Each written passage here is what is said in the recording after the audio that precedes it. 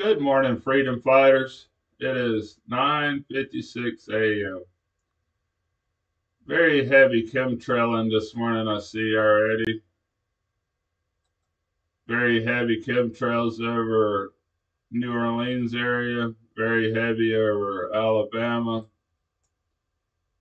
And Florida's got some trailing starting a little bit in the Gulf of Mexico. They won't give us any amount of sunshine. One day of sunshine, I guess, is all we're going to get.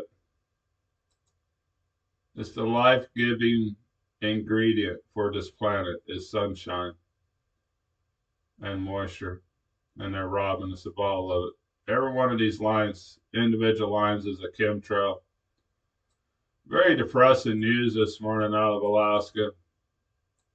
Hardly ever I would get a fish prices this early in the game, but they're talking about 17 cent for our chum salmon this year from a dollar 15 two years ago. That's what we left with last year, 17 cent. I'm not going to Alaska this year, guys. That is truly heartbreaking. 14 years in Alaska. And it's over. They're going to farm your fish for you. You're not going to get wild caught Alaska salmon any longer we're not going to be able to afford to go catch it. And they poisoned my Gulf of Mexico. So I guess my days as a commercial fisherman are numbered.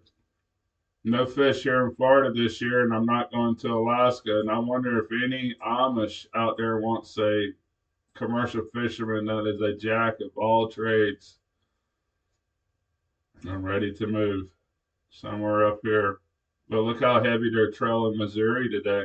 This is our farmland. They're poisoning our farmland, people. They done poisoned my oceans. Our birds are gone. The insects are dying. We're being poisoned by these people. Our military has been taken over by our enemy. Commercial fishermen standing by, soon to be a farmer. Standing by, guys.